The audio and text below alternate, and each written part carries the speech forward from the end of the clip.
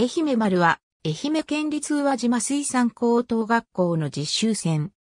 初代の船名は、愛媛丸と漢字で表記。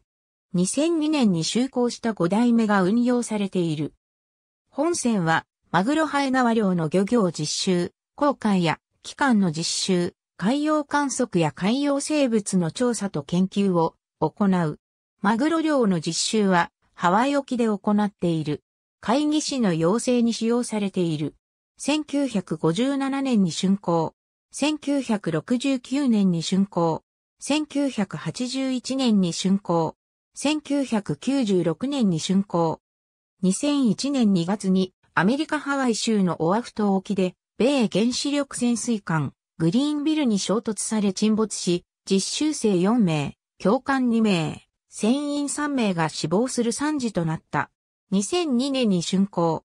2015年7月3日、愛媛県宇和島市の岸壁に係留されていた船内で、トイレ清掃作業中に硫化水素とみられるガスが発生し、選考課程の学生2人と職員3人が搬送された。ありがとうございます。